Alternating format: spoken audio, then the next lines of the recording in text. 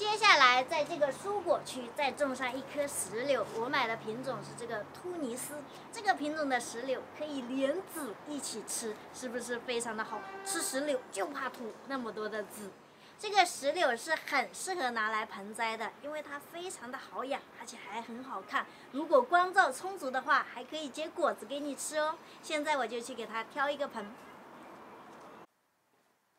这个石榴对花盆材质没什么要求，但是对大小就有要求了，看你是要想它长得多大。我要长得大一点的话，就要用大一点的花盆，反正大就对了。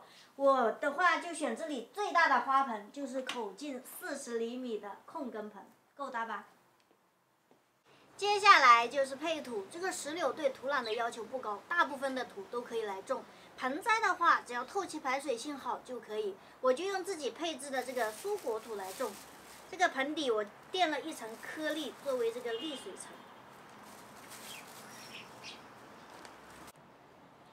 再把这个苗取出来。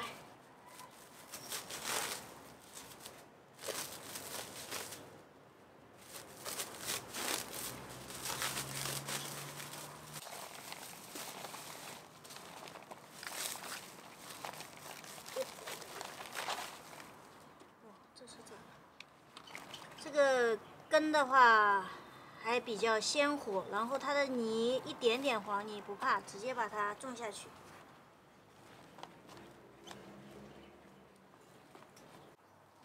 继续加土，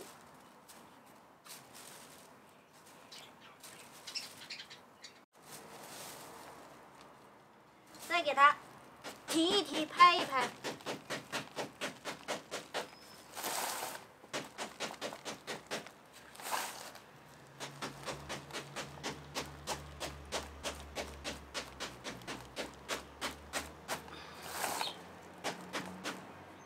稍微摁一下。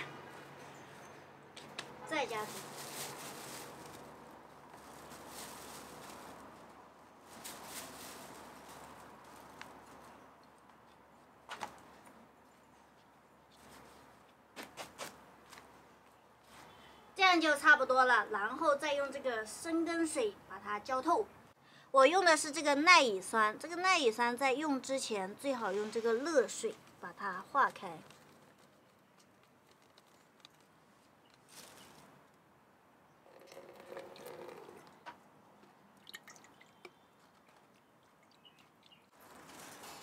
稀释两千倍，给它灌根。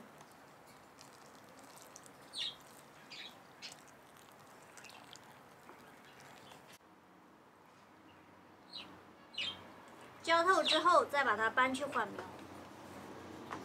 放在这个地方缓个两个星期左右。为了防止这个枝条抽干，我把这个伤口用这个薄膜把它包起来，这样就可以了。